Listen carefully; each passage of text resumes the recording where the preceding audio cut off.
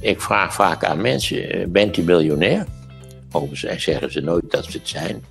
In Nederland zijn mensen doodsbenauwd om te zeggen dat ze miljonair zijn. Ik weet niet precies waarom, maar dat, dat maakt geen goede indruk bij ons. Maar als u miljonair bent, eh, en, en zeker als u de ruimte ook zoekt, dan zou ik zeggen: emigreer naar de Verenigde Staten. Als er één land is wat georganiseerd is voor miljonairs, door miljonairs, dan zijn het de Verenigde Staten.